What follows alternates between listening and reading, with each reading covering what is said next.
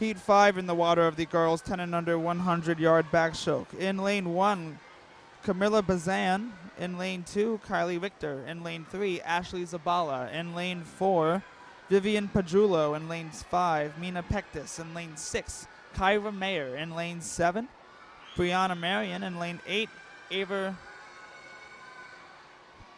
Bolchiaro. In lane 9, Lily Hackett. In lane 10, Eldridge O'Malley, or O'Malley Eldridge.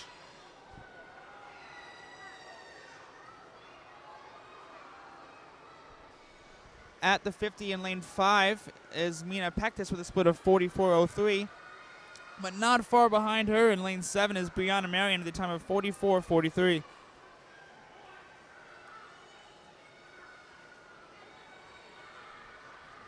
Actually, no, uh, we stand corrected. Lane 6 that's Kyra Mayer. She flipped, but her time didn't quite register.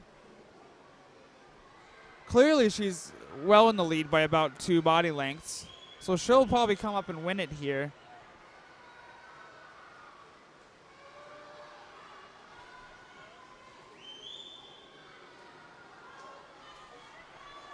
And she'll take this heat with a split, sorry, with a time of 125.62.